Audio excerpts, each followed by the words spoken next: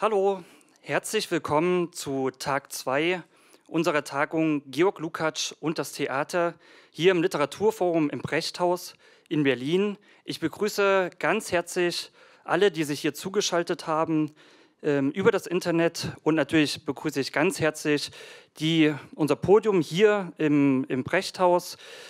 Heute haben wir das, zuerst das Werkstattgespräch zur Ästhetik. Es soll also heute um die Ästhetik von Georg Lukacs gehen. Da haben wir hier Iris Dankemeyer, Christine Böhnecke und als Moderation Daniel Pratanovic. Ich möchte ähm, in diesem Zusammenhang unserer Tagung auch nochmal ähm, besonders darauf aufmerksam machen, dass es einen Reader gibt mit Texten von Georg Lukacs zum Theater, ähm, den ich hier auch noch mal ganz kurz in die Kamera halte. Ich hoffe, das ist zu sehen. Also Georg Lukacs Texte zum Theater. Das ist gewissermaßen auch die Grundlage unserer Gespräche, die wir hier im Brechthaus führen.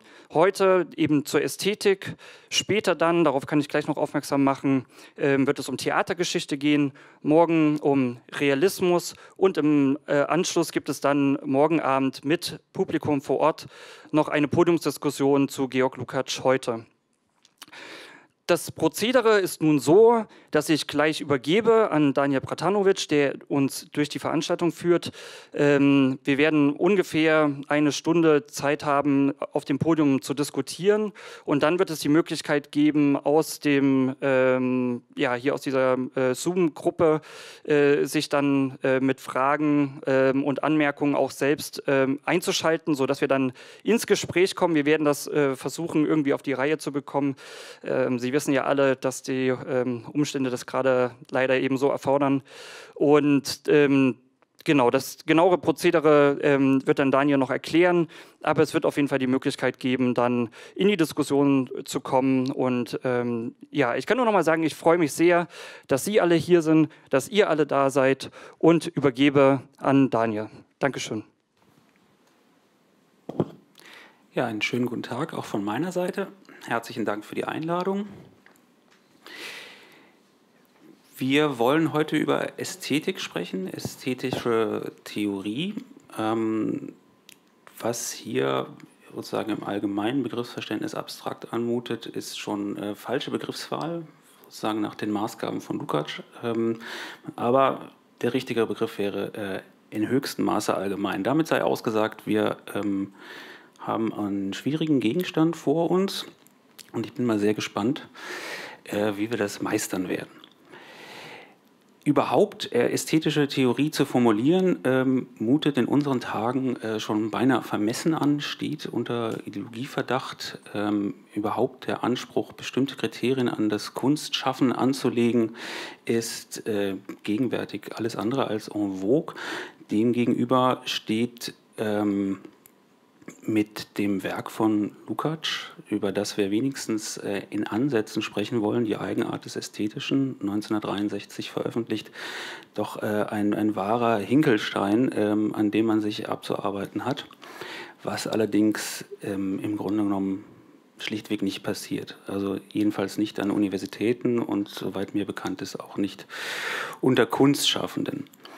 Ähm, warum es sich lohnen könnte, mit, sich mit der ästhetischen Theorie von Georg Lukács möglicherweise auch äh, in Abgrenzung oder Vergleich äh, zur ästhetischen Theorie von Adorno zu beschäftigen, wollen wir heute andeuten. Mehr wird dieses Werkstattgespräch sicherlich nicht leisten können, aber immerhin äh, hoffentlich Interesse wecken, mh, hm, was wir hier zu unternehmen beabsichtigen ähm, und wollen mal sehen.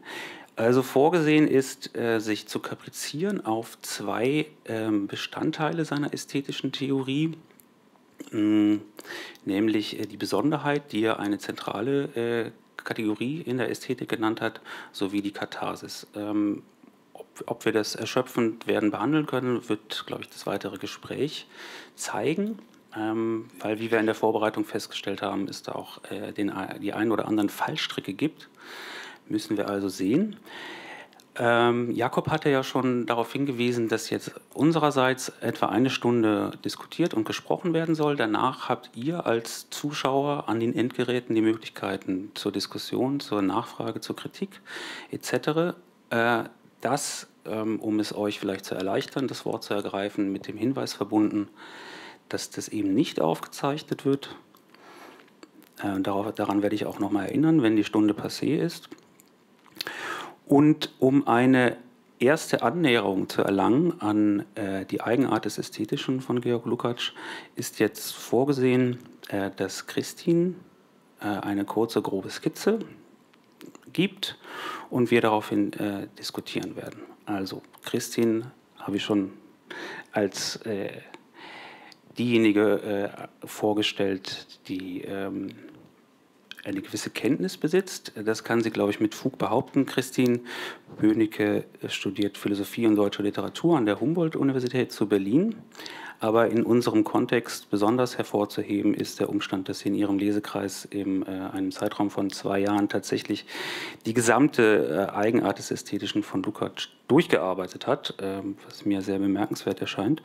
Äh, das sind nämlich auch, ähm, naja, äh, nicht nur dieser Band, sondern ein etwa genauso dicker Band, zweiter Band, also rund 3000 Seiten. Sie wird uns also Auskunft erteilen können und mit ihr diskutieren wird, äh, darauf freue ich mich schon, äh, Iris Dankemeyer, ganz zu Rechten, was Sie bitte niemals ähm, politisch übersetzen sollten. Und äh, Iris ist Philosophin, lehrt an der Kunsthochschule Burg Giebichenstein und schreibt für verschiedene Zeitungen und Zeitschriften. 2020 veröffentlichte sie Die Erotik des Ohrs, musikalische Erfahrung und Emanzipation nach Adorno. Hinzuzufügen ist vielleicht auch, äh, dass sie in ihrer Freizeit ähm, auch eine Zauberkünstlerin ist. So, mit dieser kurzen Vorstellung. Jetzt kommt, ich singe beim kommunistischen Tresen ab. dieser kurzen Vorstellung und äh, dem Hinweis, dass Christine jetzt eine kurze Einführung geben wird, sei ihr das Wort übergeben. Ja, ich bedanke mich herzlich für die Einladung, dass ich heute hier sein darf. Ähm, zur Eigenart äh, des Ästhetischen würde ich erstmal äh, vorausschicken, ähm, dass Georg Lukács sich als Marxist verstanden hat. Aber dafür muss man natürlich wissen, was er unter Marxismus eigentlich versteht.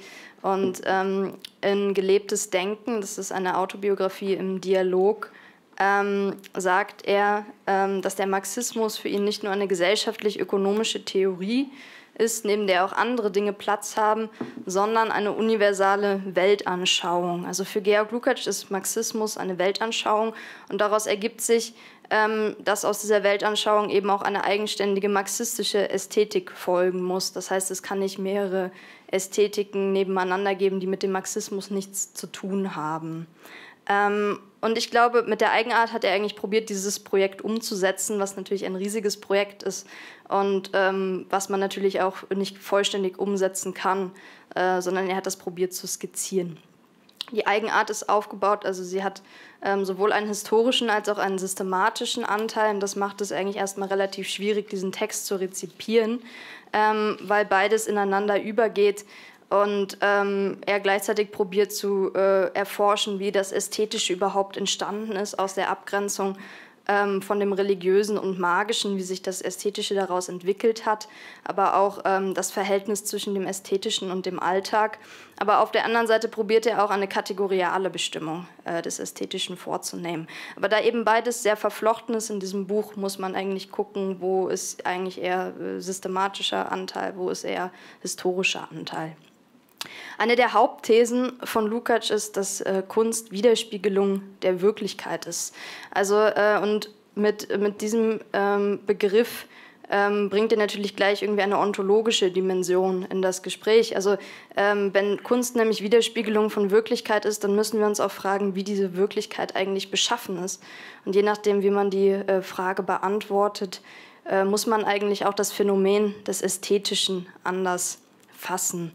Äh, ansonsten ähm, geht Lukács vom Werk aus, also er hat eine Werkästhetik vorgelegt und grenzt sich ab von irgendwie Produktions- und Rezeptionsästhetiken, weil das Werk uns eben als Objekt irgendwie gegenübersteht und deswegen auch äh, vielleicht dasjenige ist, was man am besten erkennen kann. Gleichzeitig ist das Werk eigentlich das Zentrum zwischen ähm, dem Produzenten, der das Werk geschaffen hat, und dann dem Rezipienten. Also das Werk verbindet ähm, beide Seiten, sowohl die subjektive als auch die objektive Seite, ähm, bindet das in einem Objekt, was uns gegenübersteht.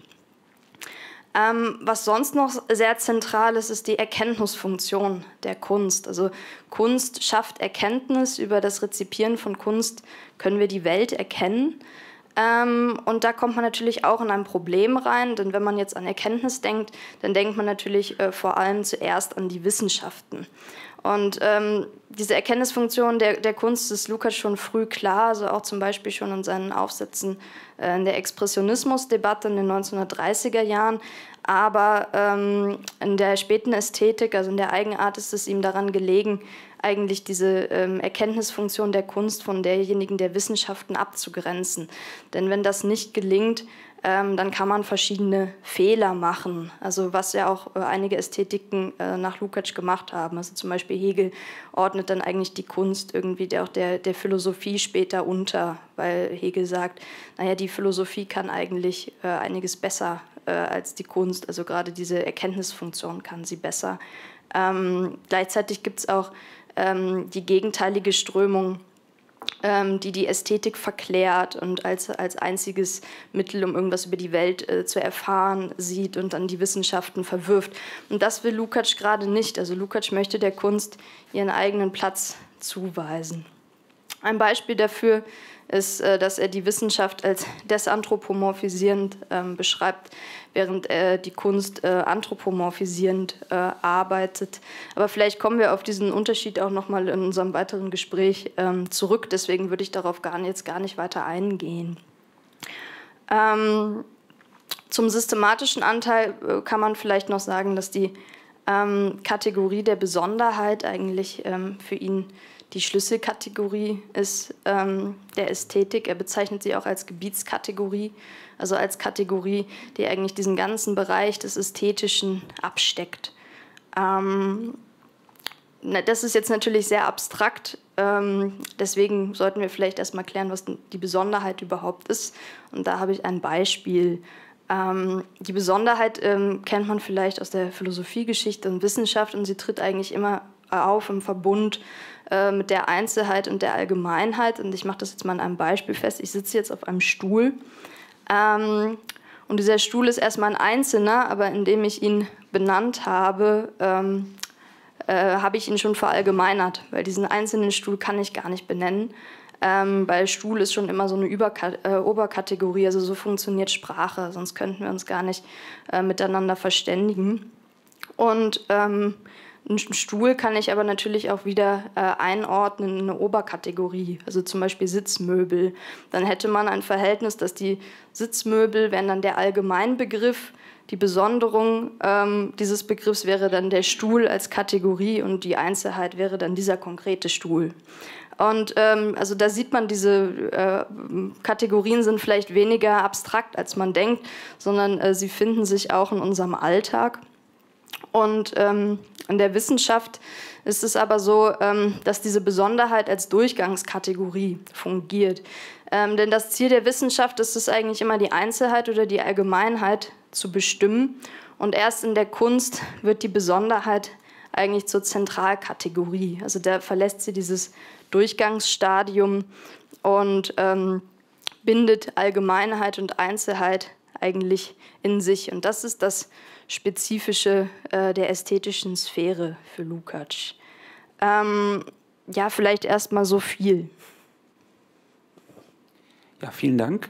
Äh, damit hast du ja auch schon hingeführt ähm, zu äh, einem der Aspekte, über den wir sprechen wollen, nämlich über die Besonderheit als die zentrale Kategorie in Lukács Ästhetik. Mm, das war jetzt in einer sehr allgemeinen Form vorgebracht, wenngleich äh, durch dein Beispiel erhält.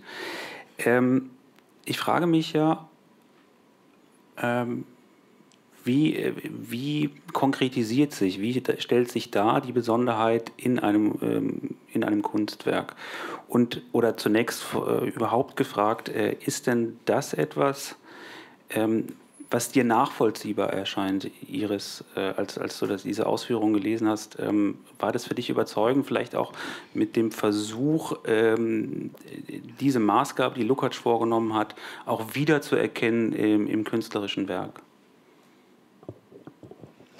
Ja, äh, gute Frage. Also man sieht schon, äh, hier da drüben liegen die dicken Lukács-Bücher. Bei mir liegt das also nicht. Ich bin äh, die unkundigste hier unter uns. Ähm, ähm, ich habe mich tatsächlich auch sehr stark konzentriert, wirklich nur auf diese beiden Texte, die wir jetzt diskutieren.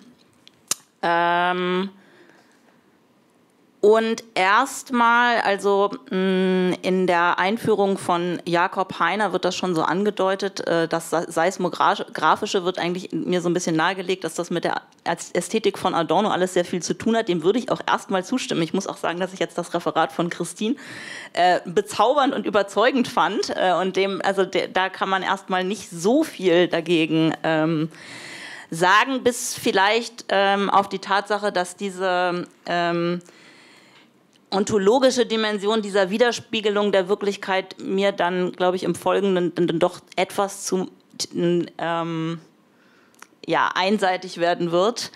Ähm, zur Besonderung, ich meine, eine Reihe der Sachen, wie du das jetzt char charakterisiert hast, würde ja Adorno sozusagen teilen. Also, dass der Kunst ein eigener ähm, Erkenntnischarakter zufällt, dass sie einen wirklichen Wahrheitsanspruch hat. Im Prinzip auch diese, dieses ähm, dialektische Modell eines, ich sage jetzt mal vorsichtig, Dritten als Durchgangspunkt.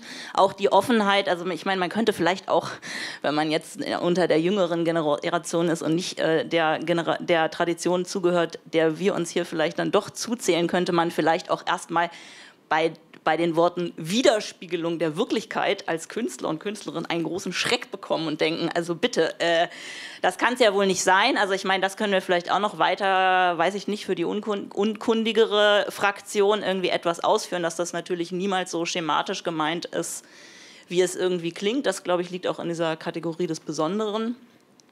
Ähm, Gut, das Anthropomorphisierende, das hatten wir auch schon. Das, also okay, das muss ich zurückstellen. Wie kommentiere ich das jetzt? Also dann sage ich, erkläre ich mich erstmal mit dem bisher Gesagten für einverstanden. ähm, vorläufig, ich würde eher den Gegenstandsbereich, ähm, glaube ich, dieser Besonderheit ähm, bestreiten, weil ich glaube, dass sie nur, also entweder man hält das sozusagen so abstrakt halb hegelianisch, wie das jetzt mit dem Stuhlbeispiel äh, sozusagen passiert ist. Oder man hat als Gegenstandsbereich entweder äh, einen bürgerlichen äh, Roman oder äh, das Theater. Also dieser Band heißt ja auch, das sind ja Schriften zum Theater. Ich freue mich schon auf die nächsten Tage. Das glaube ich alles, dass Lukács dafür super ist. Ich habe sozusagen als jetzt stolpere ich gleich vor mit meinem Grundeinwand, äh, größte Bedenken, dass für andere Genres, und jetzt kenne ich natürlich hier die, nicht das ganze dicke Ding, weiß nicht, was der Lukács über Musik schreibt. Dieser äh, Eisler-Aufsatz im Band ist relativ schwach, darf man vielleicht mal sagen. Also das ist einfach, äh, und das wäre ja nicht schlimm, aber das, das wäre sozusagen jetzt erstmal meine grob zurückgegebene These. So weit okay, wie es sich auf Literatur und Theater bezieht, darüber hinaus ähm, ja, scheint mir dann doch was zu fehlen, um auf andere Phänomen, auf, um anderen äh, ästhetischen Phänomenen gerecht zu werden oder anderen Genres als diesen eben genannten gerecht zu werden. Gut, äh, du hast es angedeutet, ähm, das Theorem der Widerspiegelung ähm, scheint dir zu äh, umfassend angewandt. Als, als ich mich vorbereitet habe, ist mir das auch nochmal aufgegangen, ähm, dass das für, wahrscheinlich für die, für die marxistischen äh, Rezipientinnen und Rezipienten ähm, ähm, vermutlich gar nicht weiter auffällt, ähm, weil, weil das schon äh, Kernbestandteil der marxistischer Theorie ist. Ähm, dann musste ich aber nochmal innehalten und dachte, ja, stimmt eigentlich. Also wenn wir reden über ästhetische Theorie, und da ist es eigentlich schon äh, vorausgesetzt. Ja, Widerspiegelung, äh, objektive Wirklichkeit, Erkennbarkeit der Welt und damit auch ihre, ihre Veränderbarkeit. Ähm, das ist nicht unumstritten, wie jetzt schon angedeutet worden ist, ist aber andererseits, das ist sozusagen der Widerspruch äh, unseres, unseres Gesprächs vielleicht, äh, die, die, äh, die Voraussetzung, die, die Lukács einfach macht, ähm, die auch in diesen Passagen, die zur Auswahl standen, äh, einfach immer schon mitgedacht sind. Ähm, und, und davon ausgehend müssen, müssen wir, glaube ich, diskutieren. Jetzt hast du äh, angedeutet, wo du, du würdest sagen, er hat äh, Stärken für einen gewissen ästhetischen Bereich und bei anderen scheitert er. Würdest, würdest, du, würdest da mitgehen oder würdest du Iris widersprechen, Christine? Ich hoffe, du widersprichst.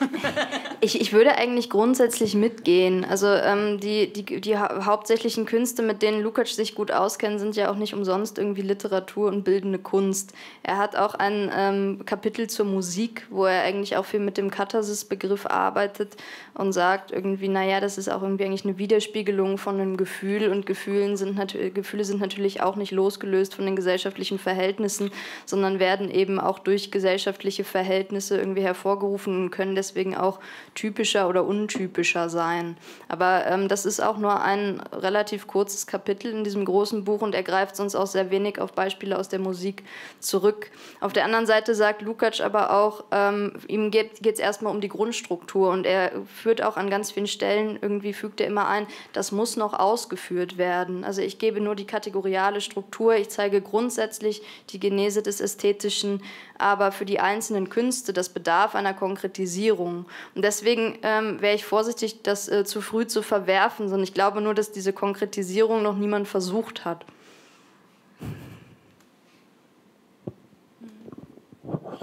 Aber wie haben wir es denn jetzt äh, mit dem Besonderen? Ähm, mir, aus den bisherigen Ausführungen ist ja noch nicht so ganz klar, äh, oder bestenfalls angedeutet, äh, was das ist. Ähm, mir schien ja am leichtesten, äh, das, das anzuwenden zur Veranschaulichung äh, in, der, in der Figurengestaltung äh, des Dramas oder in der Epik.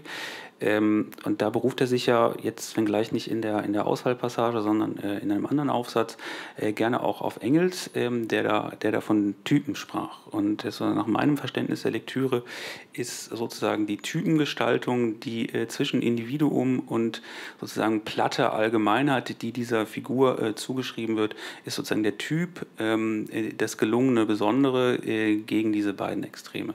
Ähm, ist das eine ungefähr richtige Charakterisierung? Ist es etwas, ähm, von dem man sagen muss, das ist genau anzustreben? Ähm, würdet ihr dazu stimmen? Dann ist es ein gelungenes Werk, ein gelungenes Drama, eine gelungene Epik? Oder, oder ist es auch wieder seinerseits eine, eine unzulässige Verallgemeinerung? Vielleicht äh, zuerst Iris und dann Christin. Ähm ja, ich äh, erinnere mich an die Stelle, die du gerade ansprichst. Die hat mir eigentlich sehr eingeleuchtet. Also er sagt ja auch, das ist sozusagen, äh, das Besondere ist dann erst ein Punkt und dann sagt er, naja gut, das ist eigentlich kein Punkt, das ist so eine Art Bewegungsspielraum. Ähm, und dann sagt er, es ist auch nicht einfach ein Loch, sondern ein, ein Anknüpfungspunkt. Und dann charakterisiert er eigentlich den Unterschied sehr schön, ob das sozusagen dieses, dieser Anknüpfungspunkt etwas näher am Allgemeinen ist, wie äh, am Drama, oder etwas näher am Besonderen, wie in der Epik. Das finde ich jetzt zum Beispiel an diesem Beispiel schon Vielleicht sage ich erstmal so viel dazu. Ähm, reicht das schon? Ja, vielleicht. Äh, ja, also das in dem Falle, das, damit habe ich kein Problem. Bitte. Ja, ich habe damit äh, auch kein Problem. ähm, vielleicht sollte man da aber auch noch mal den Unterschied zur Wissenschaft klar machen. Also die Wissenschaft arbeitet ja auch mit Typisierung, aber da gibt es meistens nur einen Typus oder man probiert irgendwie einen Typus möglichst zu klären. Aber die ästhetische Sphäre gestaltet sich eigentlich ähm, gerade äh, dadurch, dass es eine Pluralität von unterschiedlichen Typen gibt. Ähm, und ähm, die finden sich dann auch in unterschiedlichen äh, Künsten, Genres etc. Ähm, also das, das, ähm, ja, das Typische tritt da viel pluraler auf. Und ähm, das ist auch nichts, was irgendwie von der Subjektivität irgendwie vollkommen gereinigt wäre oder so, weil in dem Typischen ähm, ver verbindet sich eben auch Subjektivität und Objektivität. Also ähm, Lukács sagt auch, es ist eine ähm, von der ähm, Partikularität gereinigte Subjektivität.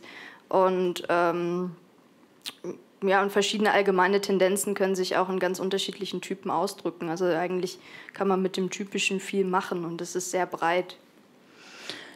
Genau, ich würde jetzt vielleicht dann doch, das bietet sich so ein bisschen an, jetzt gleich einzuwenden, genau, das finde ich für die Literatur eine gute Charakterisierung. Du, hast, du hattest das jetzt eben ihn in Schutz genommen und gesagt, okay, also ähm, sagen wir mal, die Sache im Ganzen ist, die Idee ist gut, die Konkretisierung ist noch nicht so weit in allen Bereichen. Ähm, also er, für das Musikkapitel hat er ja, glaube ich, auch explizit mit einem Musikwissenschaftler zusammengearbeitet, weil er sich da gar nicht kundig fühlt oder so. Das habe ich mir halt noch nicht angeguckt. Ähm, ich meine, eine Parallele zu, zu Adorno wäre jetzt nochmal, dass natürlich aus, wenn ich das jetzt richtig oder vielleicht ist das eine Nachfrage verstanden habe, dass aus dieser Besonderheit ja, also damit hängt ja zusammen die selbstständige Gestalt, die das Kunstwerk tatsächlich hat oder nicht. Ähm, so das noch weiterkommt? Ja. Ja. ja. ja, ich habe das auch so verstanden, ähm, aber das ist sozusagen erstmal einmal die, die Bestimmung seiner Selbstständigkeit. Auf, auf der anderen Seite ist es natürlich ähm, auch dann äh, die, die, also das, die Besonderheit als Typus, als Typen. Ähm, äh, ist, ist ja dann auch, wie, wie er das sagt, äh, eine, eine gelungene äh, Widerspiegelung der, der objektiven Wirklichkeit. Die eben nicht einfach bloß abbildhaft ist, sondern die äh, in einer bestimmten Zeit unter bestimmten Bedingungen ähm, äh, etwas aufzeigt und dabei aber nicht einfach nur ähm, wie Parteifigur oder Abziehmännchen ist, ähm, sondern sozusagen in, in, all seinen Widersprüchen gezeichnet. Ähm, das scheint mir aber ein Anspruch zu sein, ähm, der, der gegenwärtig nicht mehr, nicht mehr eingelöst wird. Ähm, und dann wäre zu fragen, vielleicht auch mit, mit, mit Adornos ja eher skeptischer Ästhetik, äh, kann er überhaupt noch eingelöst werden? Oder ist es nicht äh, ein, ein vermessener Anspruch von Lukács oder beziehungsweise ein Anspruch, ähm, der unter Berufung auf Lukács äh, unter den Verhältnissen, unter den miserablen Verhältnissen der Gegenwart vermessen wäre? Vielleicht äh, du? Da könnte ich, kann ich jetzt sozusagen ein, äh, weiter einhaken. Also dieses Modell des äh, typischen, das wir gerade für die Literatur besprochen haben, wäre jetzt, glaube ich, ich wüsste nicht, wie man das für die Musik jemals schaffen sollte. Das ist jetzt auch nicht unsere Aufgabe, aber tatsächlich. Die Frage ist auch, ob das auch für andere Kunstformen, auch für die Literatur gegenwärtig noch möglich wäre, nicht? Oder man sagt, alles ist so fragmentiert oder wie auch immer, dass das gar nicht mehr geht, Totalität abzubilden oder so. Ja, ich meine, wir haben das im Vorgespräch schon ein bisschen angedeutet, dass wir also alle drei dann in dem Sinne doch Fan sind, dass man also auch gerne mal wieder den Begriff Totalität hört und daran glaubt, dass es vielleicht auch Subjekte noch gibt. Vielleicht sind sie sogar, wären sie eigentlich handlungsfähig, wenn ihre Kunst nicht immer ganz so gaga und subjektivistisch und irgendwie immersiv und whatnot wäre. Also gleichzeitig muss ich dann ja schon sagen, also ich meine, dieser Anspruch des Menschen ganz, ähm, also ist es nicht doch veraltet, Christine? Du bist doch die Jüngste von uns. Du, musst das, du, musst, du kannst am besten widersprechen, quasi, würde ich jetzt sagen. Nee, ich glaube, die Wirklichkeit verändert sich immer weniger, als man denkt. Also jedenfalls, wenn man den Wirklichkeitsbegriff von Lukács äh, annimmt. Weil ähm, Wirklichkeit sind ja nicht nur irgendwie die Dinge, die man irgendwie anfassen kann oder diese ganzen fragmentierten Erscheinungen, die man wahrnimmt, sondern es geht eigentlich auch um, um materielle Strukturen. Und ähm, die sind immer noch vorhanden, die sind irgendwie erklärbar und äh, es ist auch immer noch Kapitalismus wie irgendwie in den 30ern. Also warum sollte man das nicht können? Gut, aber dann stellst du dir die Frage, warum gelingt es nicht? Ja, macht ja keiner. Jedenfalls kaum jemand. Ähm, oder, oder wenn, dann sicherlich nicht unter Berufung auf ästhetische Theorie, weil das gerät ja dann alles ganz schnell unter, unter Ideologieverdacht, ähm, wie überhaupt äh, objektive Wirklichkeit äh, als, als äh, Bestandteil eines Philosophems, der im Grunde genommen komplett beseitigt worden scheint. Und wie kann man das noch retten? Ist es überhaupt noch zu retten?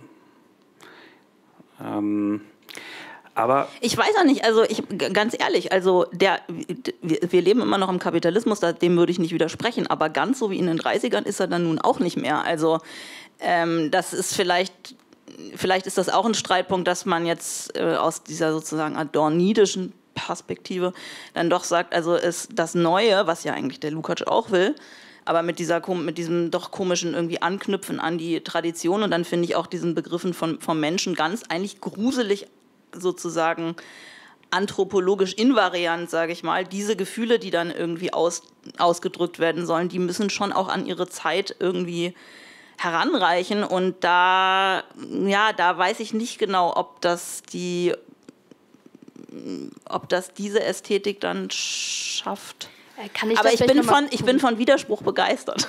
Ja, ich würde noch mal ganz gerne kurz einhaken, also was die Menschen ganz angeht, weil ich glaube, das führt zu Missverständnissen ein bisschen, diese, diese Terminologie, weil das ist eingebettet in Lukács Verständnis des Alltags. Also es gibt halt diesen ganzen Menschen, das ist eigentlich dieser Alltagsmensch und da ist man eigentlich nicht fokussiert auf irgendwie ein, ein, eine bestimmte Sache, sondern man geht über die Straße und da hört man ganz viele Geräusche, man sieht hier links kommt ein Auto und gleichzeitig hört man Musik und denkt über über irgendwas nach. Und in bestimmten Tätigkeiten, die der Mensch dann aber ausführen kann, fokussiert sich eigentlich seine Aufmerksamkeit in, in, auf eine bestimmte Art und Weise. Zum Beispiel, wenn man ein Kunstwerk rezipiert oder wenn man ein Kunstwerk erschafft oder wenn man Wissenschaft betreibt, so als Beispiele. Und ähm, das meint er eigentlich mit diesem Menschen ganz. Also das ist äh, ganz klar eingebettet in diese Anfangsbeschreibung ähm, des Alltags. Also so, so viel mehr steckt da auch gar nicht dahinter, würde ich sagen. Aber da, wo er das ausführt, äh, vielleicht sprechen wir kurz darüber und könnten dann ähm, auch schon hinüberleiten äh, zu seinem Verständnis von Katharsis als weitere wichtige Kategorie. Ähm, da spielt es ja auch eine Rolle. Ähm, und ähm, sozusagen dieser, diesen Passus äh, aus, aus der Eigenart des Ästhetischen losgelöst, ähm, erklärt noch nicht, ähm, was er damit sagen will, was du jetzt kurz ausgeführt hast, Christine. Ähm, dem ist ja noch ein ganzes Kapitel, das so bezeichnet ist, vorangestellt. Aber er sagt ähm, an einer Stelle, und jetzt mit Bezug auf äh, die Katharsis, die Verwandlung des ganzen Menschen des Alltags in den Menschen ganz, des jeweiligen Rezeptiven eines konkreten Kunstwerks, strebt gerade in die Richtung einer solchen auf äußerste individualisierten und zugleich allerallgemeinsten Katharsis. Das heißt, in dem Falle geht er ja äh, von dem Momentum äh, der Kunstrezeption aus. Und, und in diesem Moment findet Verwandlung statt. Also der Alltagsmensch, den ihr hier den ganzen Menschen nennt, wird zum Menschen ganz. Ähm, und, und löst so etwas aus wie Katharsis. Aber was meint er damit genau? Ähm, und ist das, ist das nachvollziehbar? Christine vielleicht zuerst und ja, der, ich finde, der Katharsis-Begriff ähm, bei Lukács ist eigentlich ganz, ganz schwierig, weil er fungiert also nach meinem Verständnis eigentlich so eine, als so eine Art Oberbegriff äh, für Erkenntnishervorrufung durch Kunst, aber er hat nicht so richtig einen Ort. Also die viele Kategorien bei Lukács sind eigentlich direkte Kategorien des Werks. Dieser Katharsis-Begriff bei ihm schillert aber total. Also ähm, da ist mir auch selber noch nicht ganz klar, ist das ein Begriff des Werks? Ist das eigentlich eher ein, ein reiner Begriff der Rezeptivität? Ich tendiere eigentlich eher zu letzterem. Ähm, Außerdem ähm, geht er auch davon aus, dass, dass Katharsis ähm, eben auch im Alltag vorkommen kann. Also er sagt halt irgendwie, wenn es Katharsis nicht im Alltag auch geben würde, ähm, könnte das irgendwie die Kunst gar nicht hervorrufen.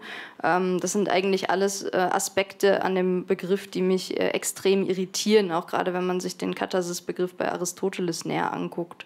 Also ähm, ja, da bin ich eigentlich ein bisschen verwirrt, um ehrlich zu sein.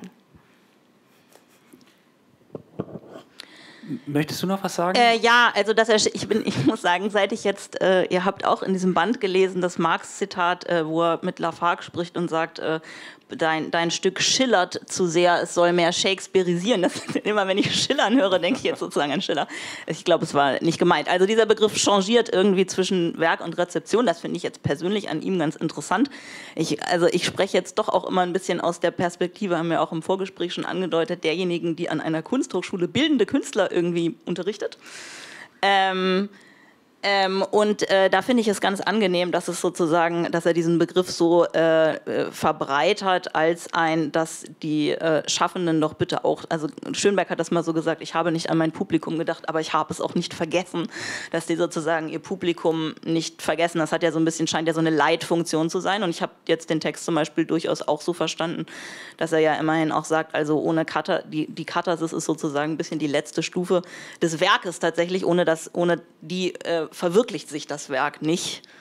Ähm, ein bisschen irritierend ist vielleicht dieser Kurzschluss, dass es ja tatsächlich sowas wie so eine Art ähm, doch moralische, das ist eine Frage an Christine, also das mit dem Menschen ganz, das hat, da hast du mir schon gut den Wind aus den Segeln genommen, vielleicht schaffst du das jetzt auch, also dass das irgendwie äh, sozusagen zu so einer Art moralischer Läuterung dann irgendwie ähm, führen soll und nicht einfach zu Bewusstsein, was mir angenehmer wäre. Es hat, hat ja schon immer bei ihm dann so einen e Zug ins Ethische oder so.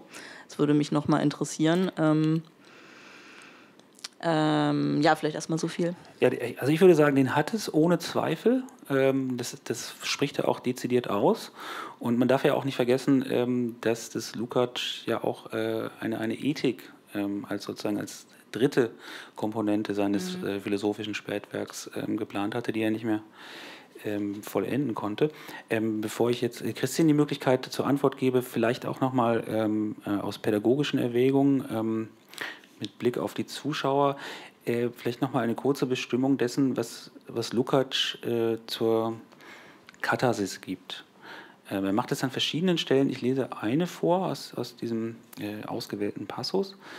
Er nennt es die ähm, verallgemeinertste Form der Katharsis und schreibt ein derartiges Durchrütteln der Subjektivität des Rezeptiven, dass seine im Leben sich betätigenden Leidenschaften neue Inhalte, eine neue Richtung erhalten, dass sie derart gereinigt zu einer seelischen Grundlage von tugendhaften Fertigkeiten werden. Ähm, das, das, das klingt tatsächlich nicht so, als könne man darüber äh, ernsthaft 2021 sprechen. Ähm, kann man doch, Christine? Ich denke schon. Also ähm, wenn man sich anguckt, ähm, wie auch äh, der Gegenstandsbereich der Kunst abgegrenzt ist. Also Lukács sagt, ähm, die Kunst zeigt die Welt des Menschen und damit sie, unterscheidet sie sich auch von der Wissenschaft, weil die Wissenschaft verwandelt eigentlich das Ansicht der Welt in ein, ein äh, für uns, also für den Menschen. Ähm, und damit ist die Ethik äh, dann natürlich auch entscheidend, also wenn man das eben auf die Welt des äh, Menschen eingrenzt. Und ähm, er meint äh, diese Läuterung des Menschen ja nicht unmittelbar und er grenzt sich auch ab ähm, gegen ästhetische Theorien, die ähm, probieren eigentlich so eine unmittelbare Wirkung ähm, mit, äh, mit Kunst äh, irgendwie hervorzurufen oder das äh, dementsprechend zu erklären. Also es ist nicht die Idee, dass man jetzt irgendwie ein Buch liest und danach wirft man einen Molotow-Cocktail irgendwo rein, ähm, sondern die Idee ist eigentlich eher, dass man vielleicht ein Buch liest, und das macht was mit einem und das macht was mit einem, aber vielleicht auf eine längere Sicht. Man denkt nochmal über das Buch nach, man erkennt sich selbst in dem Buch wieder. Äh, man lernt vielleicht auch etwas, man, man gewinnt ein konkreteres Verständnis über sich selbst, über die Welt. Und das ist ja vielleicht kann man vielleicht auch als Läuterung umfassen, ohne ähm, ja, dass, es, dass, es, dass man diese unmittelbare Wirkung braucht. Verstehe, aber was wären jetzt die tugendhaften Fertigkeiten? Wie könnten die heute aussehen?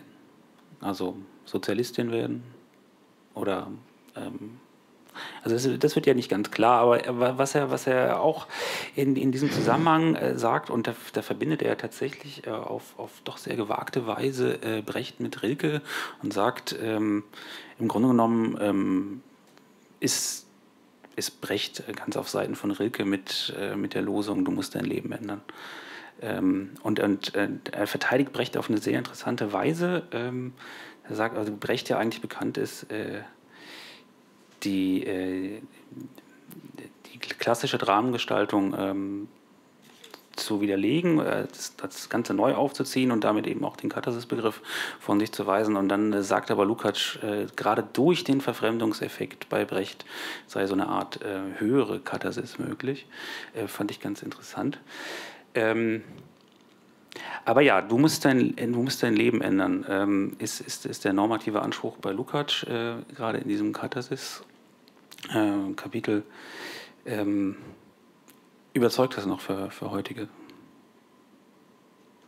Naja, sagen wir erstmal Literatur, nicht generell, generell Kunst. Ja.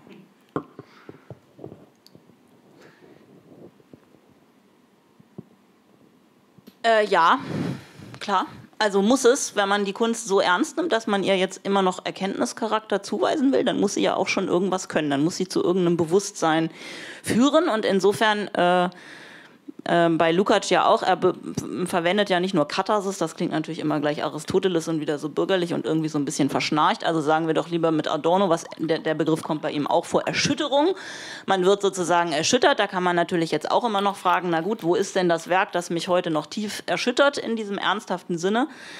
Aber er spricht auch, das hat mich überrascht, muss ich sagen, er spricht ja selber auch von Ergriffenheit und Scham, dass man sich schämt, sozusagen ähm, vorher was nicht gewusst zu haben, wenn man jetzt dieses Buch gelesen hat. Man, vielleicht ist man, ein, man, ist man ein schrecklich grober Mensch und man wird tatsächlich durch diese Literatur sozusagen äh, verfeinert und man schämt sich sozusagen, dass man das vorher nicht gesehen hat. Also das ist hoffentlich immer noch ähm, möglich. Also sonst muss man, sonst müsste man es auch lassen. Ja, sonst ist das, sind das ja nur dekorative Gegenstände, die wir produzi produzieren oder, oder Belletristik oder so. Ähm, das müsste schon irgendwie noch möglich sein. Aber das geht ja auch genau in die andere Richtung. Also ich kann mir auch ein Kunstwerk äh, anschauen und sagen, das ist viel schöner als mein Leben. Warum?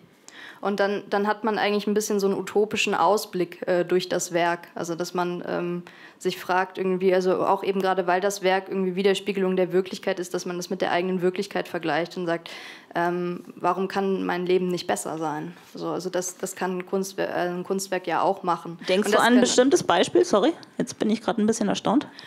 Naja, zum Beispiel ähm, Renaissance-Malerei. Ja, gut. Also das, das ist so ein bisschen das, was ich meine. Also das ist aber genau dieser Zug an Lukács, der wir jetzt, wir, wir wollten jetzt über zeitgenössische Kunst sprechen und wir wollen uns nicht laben an der Renaissance-Malerei und denken, früher weiß ich nicht, waren die Brüste üppiger oder sowas. Also das kann, das kann, sorry, das kann es jetzt irgendwie auch nicht sein, weil das ist tatsächlich, also dieser Anspruch, das sehe ich bei dem Lukács eben auch, das hat ja Adorno nicht so. Adorno ist ja eher so, okay, dann, dann im Zweifelsfall sozusagen lieber weg mit dem 19. Jahrhundert und mit der Tradition. Es ist sozusagen wichtiger, jetzt noch zu fühlen oder dieses Antizipative. Und da finde ich schon, dass das sozusagen bei Lukács wirklich auch einen dann doch relativ unangenehmen rückgewendeten Zug hat, dass man eben ja irgendwie so verklärend in die Tradition blickt. Das ist eine sehr gute Frage. Ist es Verklärung oder ist, hat er einfach für sich festgestellt, ähm, dass, die, dass die großen Kunstwerke äh, des Bürgertums ähm, im Grunde ja dementsprechend, was er als Maßgaben der Kunst äh, formuliert hat, um dann für seine Gegenwartszeit, ähm, der ja nicht umsonst äh, irgendwie auch attestiert hat, es sei eine Zeit des Niedergangs, das taucht ja auch immer wieder auf, ähm, dass er in dieser Zeit eben äh, nicht so recht finden mag, ähm, was diesen Ansprüchen genügt. Ähm, dann kann man das einerseits als, als rückwärtsgewandt betrachten, das stimmt, ähm, aber eben sozusagen auf der Grundlage dieser von ihm formulierten Maßgaben. Und wir haben uns ja im, im Vorgespräch auch mal darüber unterhalten, äh, gibt es denn eigentlich irgendjemanden, ähm, der Kunst geschaffen hat, also vor allen Dingen äh, Literatur, Dramen und, und äh, Epik, äh, der diesen Ansprüchen genügen konnte. Und äh, um ehrlich zu sein, ist uns da auch tatsächlich niemand eingefallen, wenngleich äh, das in Parenthese äh, so jemand äh, wie der, der, große bürgerliche Künstler Thomas Mann ja auch ein Zeitgenosse von Lukács war. Also dem hätte er das attestiert, aber möglicherweise tatsächlich niemandem, ähm, der jetzt auch ähm, äh, seiner, seiner politischen Gesinnung entsprochen hätte, was aber, auch das einschränkend gesagt, ja nicht das entscheidende Kriterium für das Gelungensein von Kunst ist. Mhm. Ähm, ja, also Rückwärts, Rückwärtsgewandtheit einerseits, aber andererseits eben auch äh, diese strengen, strengen Maßgaben. Ähm, darüber können wir gerne noch sprechen. Ansonsten ähm, müsst ihr intervenieren. Ansonsten hast du nämlich auch schon Iris das Stichwort gegeben, äh, wo er in diesem Katharsis-Text ähm, andeutet, äh, Formen des Scheiterns. Formen des Verfalls. Die Belletristik nennt er äh, den Kitsch und dann nennt er das ähm, gar nicht so unbedingt eingängig das rhetorisch-publizistische. Äh, ähm, wie, wie bestimmt er denn, äh, warum das scheitert und ähm, wäre dann jetzt auch mit Blick auf die Gegenwart äh, nicht äh, nach den Maßstäben von Lukács zu konstatieren. Jetzt gibt es halt einfach nur noch das. Ja. Es gibt nur noch Belletristik, Kitsch und das Rhetorische. Äh, ja, wer, wer, möchte was sagen? Äh, Christine, vielleicht. Ähm. Ja, also ähm, zu, der, zu, dem Rhetorischen ähm, könnte man halt sagen, dass das eigentlich eine Verfehlung ist also dass diese Besonderheit halt nicht getroffen wird. Also zum Beispiel ein Beispiel ist halt irgendwie eigentlich die Montage, wo dann eigentlich, ähm, wo das Werk dann zu sehr irgendwie ins Allgemeine äh, läuft. Also zum, als Beispiel irgendwie, ich nehme den essayistischen Text und ähm, montiere ihn in meinen äh, Roman. Dann hätte man halt eigentlich diese, diese äh, Werkeinheit irgendwie verfehlt. Und das ist natürlich auch ähm, wieder erschreckend aktuell, könnte man sagen. Ja, also ich habe mir das tatsächlich notiert. Ich fand das ganz interessant, weil, weil es bei, gerade bei, bei dem Beispiel Kitsch zum Beispiel, also Adorno ist natürlich auch gegen Kitsch, aber er verteidigt ihn natürlich gleichzeitig. Das ist etwas dialektischer. Da fand ich jetzt schon, dass Lukács das ziemlich abwatscht. Bei der Belletristik sagt er ja auch nur, das ist äh, bloße Unterhaltung und hat einen flachen Gehalt. Also ich meine, Unterhaltung muss jetzt nicht alles falsch sein. Das ist mir eben auch bei dem, dass er den Thomas Mann so gut findet. Also Thomas Mann hat immerhin gesagt, äh, Kunst sei, Zitat, höherer Jux. Ähm, und höherer Jux äh, ist, das ist ernst, dass das höherer Jux ist. Das sind sozusagen, und da würde ich eben, also da, da, daher kommt meine Lukács-Skepsis, dass ich denke, ähm, der findet die Kunst, das ist eine ernste Sache für ihn, er findet es nicht so lustig und er akzeptiert dann in dem Sinne auch keine Formspielereien oder ab einem gewissen Abstraktionsgrad findet er das einfach alles ähm, überflüssig, weil uns das nicht an die wirkliche Welt heranführt. Ähm, bei der Montage wäre das natürlich so ein klassischer Fall, wo jetzt Adorno sagen würde, ja gut, aber guck dir doch die armen, zerrissenen halben Menschen hier oder Viertelmenschen äh, äh, irgendwie an. Ähm, die, das ist ja sozusagen auch äh, ein objektiver Zustand der Welt. Ähm, da kann man nichts mehr anderes machen als Montage. Insofern ist das auch ihre, die Welt in Gedanken gefasst, wenn man so äh, will. Ähm, ja, vielleicht zu weit. Nee, das hängt ja, du wolltest Genau, ich, ich, doch gleich muss, ich muss, muss unbedingt widersprechen. ähm, also, äh, dass, dass irgendwie äh, Kunst nicht unterhalten soll, äh, für Lukács ist natürlich, das stimmt natürlich nicht. Also Kunst muss einen Gehalt haben, der für die Menschheit irgendwie wichtig ist, aber das heißt nicht, dass das nicht unterhalten darf. Also Kunst muss sogar auch unterhalten, weil sie sonst nicht wirksam werden kann. Ähm, und äh, er lobt dann zum Beispiel auch, das fand ich sehr interessant, ähm, es gibt eine Stelle in der Eigenart, wo er ähm, äh, Kafka mit Charlie Chaplin vergleicht und er sagt, äh, Charlie Chaplin ist der bessere Kafka. Weil Kafka zeigt uns keinen Ausweg aus der Situation, aber mit Charlie Chaplin können wir darüber lachen und dadurch erhebt sich der Mensch im Ästhetischen über seine schreckliche Wirklichkeit. Und das fand ich ganz gut. Also ähm, Deswegen, ich glaube nicht, dass man äh, Lukacs das so unterschieben kann. Ja, bliebe ja auch die Frage, ist, also klar hat er diese, diese Strenge formuliert, ähm, aber äh, lässt er denn tatsächlich äh, nur bestimmte Formen zu? Das, das muss ja nicht sein. Also ich meine, als, als historischer Materialist, der er war, betont er ja auch stets, ähm, dass, und das unter veränderten äh, Bedingungen äh, der gesellschaftlichen Verkehrsformen ähm, natürlich auch andere Kunstformen erwachsen. Ähm, also da bleibt er natürlich reichlich allgemein, aber, aber scheint mir doch auch den Horizont ähm, zu bieten, ähm, äh, neue Kunstformen zu entwickeln. Was aber offenbar äh, ganz, äh, ganz lebensgeschichtlich in einem Widerspruch mit dem Umstand steht, dass diese neuen Kunstformen seinerzeit, die aufkamen, ähm, nicht gutieren konnte. Ähm, aber, aber prinzipielle Offenheit würde ich ihm dennoch attestieren, also zumindest aus, aus, aus seinen Ausführungen. Ja, es kommt darauf an, also diese neuen Kunstformen dürfen halt die Werkeinheit nicht gefährden. Deswegen ist vielleicht die Montage eigentlich äh, für ihn immer in einer gewissen Art und Weise problematisch. Aber sonst, also er, er hebt ja auch Thomas Mann hervor und, und Thomas Mann ist auch irgendwie, was die, die künstlerischen Mittel, die er anwendet, nicht unmodern.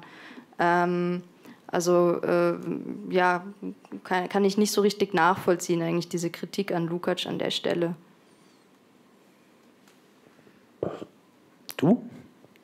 Ich, ich, hatte jetzt äh, äh, im Verweis auf unser Vorgespräch jetzt tatsächlich an, an, eher so fremdere Sachen wie jetzt Suprematismus oder, oder ähm, hatten wir noch, Lissitzky hatte ich als Beispiel genannt, mhm. glaube ich, dass er das vielleicht ganz ignoriert oder sich einfach nicht dafür interessiert. Das war vielleicht auch fair enough, aber.